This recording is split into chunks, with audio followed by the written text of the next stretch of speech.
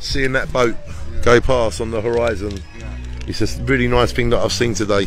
So I just filmed it, ladies and gentlemen, because I wanted to share it with you because it's not like I've seen someone's tragedy or I've seen someone make a mistake or I've I've sat there and tried to like whatever, whatever. Basically, I've just I've just seen a boat and I wanted to make a film of the boat so you watching it can see the boat too. And maybe you see there's more to life than Facebook and worrying about what other people are doing. Just enjoy the boat, enjoy life, and please rise above whatever's going on because you're worth it. Shine on, enjoy the boat. It floats and it copes and it's got a lot of hope. So enjoy the boat.